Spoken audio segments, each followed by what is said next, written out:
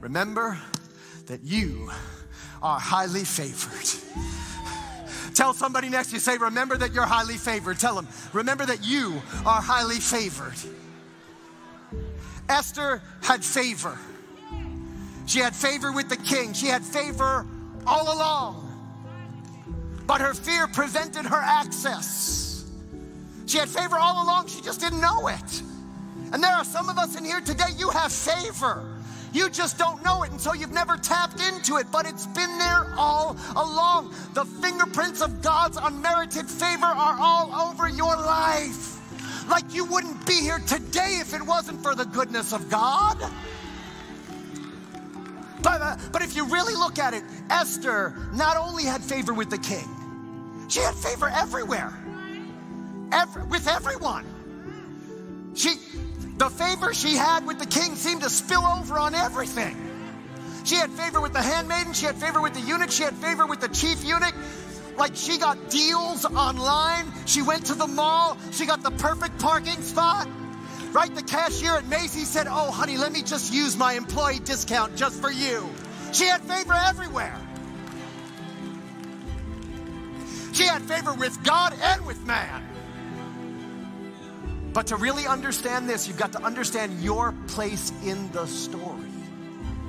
King Ahasuerus is a type and shadow of Jesus.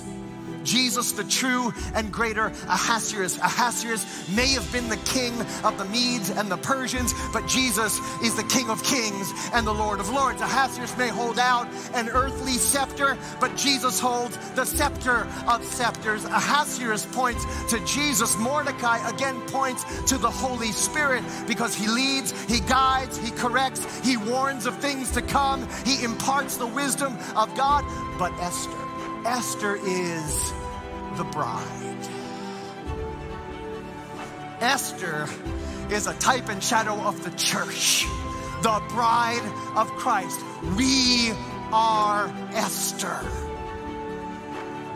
And that means that not only has the Persian king held out a Persian scepter, but the king of kings has permanently extended the scepter of scepters to you. You are blessed and highly favored. You have favor wherever you go. You have favor with everyone you interact with. You are blessed with every spiritual blessing. And the King of Kings doesn't just give you up to half his kingdom. Jesus said, It is your Father's good pleasure to give you the kingdom the divine scepter, the holy scepter, the favor of God has been stretched out toward you. For surely, O oh Lord, you bless the righteous. You surround them with favor as with a shield. Let us therefore come boldly to the throne of grace that we may obtain mercy and find grace to help in the time of need.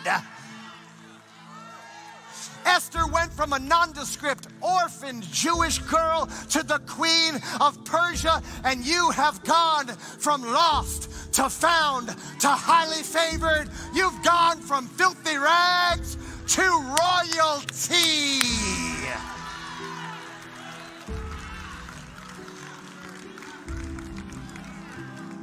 You have been translated out of the realm of darkness into the kingdom of the Son of His love. You were once at enmity with God, and now He calls you friend.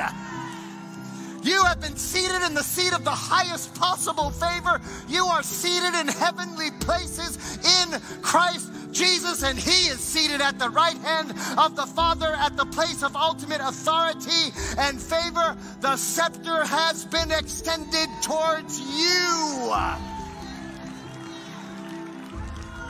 You're blessed in the city. You're blessed in the country. You're blessed in the field. You're blessed in your basket. You're blessed in your kneading bowl. You're blessed when you come in. You're blessed when you go out. You're blessed to be a blessing. And what God blesses, no man can curse.